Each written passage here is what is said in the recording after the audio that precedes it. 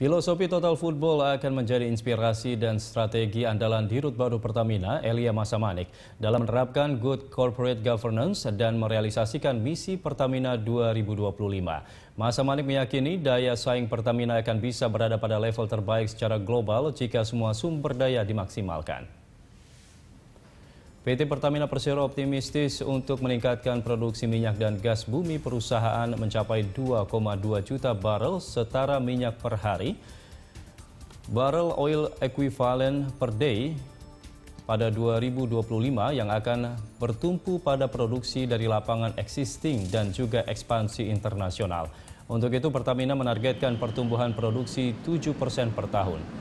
Direktur Utama Pertamina, Elia Masamani, ingin memastikan di bawah kepemimpinannya. Pertamina akan fokus menerapkan tata kelola yang baik dengan akselerasi pertumbuhan layaknya semangat total football dalam strategi sepak bola.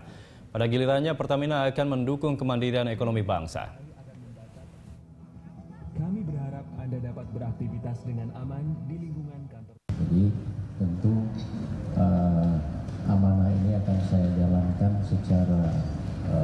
sungguh-sungguh uh, ya dengan kemampuan profesionalisme saya yang ada gitu. Dan hari ini juga saya di tahun hall meeting menekankan bahwa pusat perhatian kita ke depan itu ya di samping angka-angka yang semua adalah bagaimana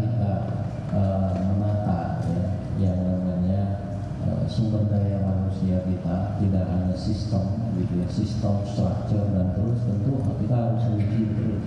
Tetapi juga bagaimana menumbuhkan yang namanya uh, uh, kondisi SDM yang lebih holistik pak ya sehingga dia nanti bisa kita bisa bersaing ke depan